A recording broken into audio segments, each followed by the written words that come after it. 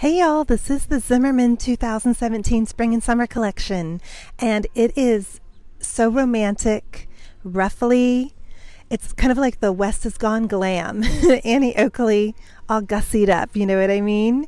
Look at these ruffles. They are so fabulous and flouncy. That I mean, they just look how they bounce as she walks. That's the definition of flounce right there.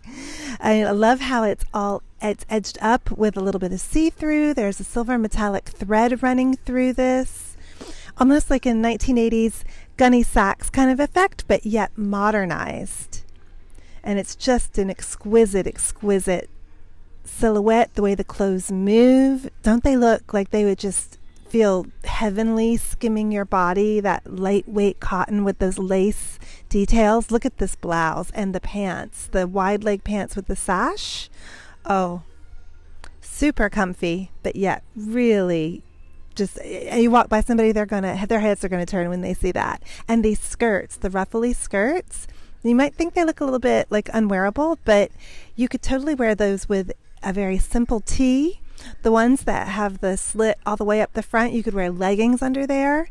Really cute and in this collection, the shoes, all about the booty, and these gray suede lace up boots. And look how perfectly those fit her calves.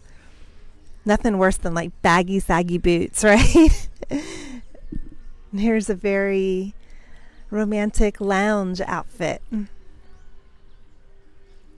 That'd be perfect at a spa, wouldn't it? I can see like lounging by the pool in that or at nine at dinner.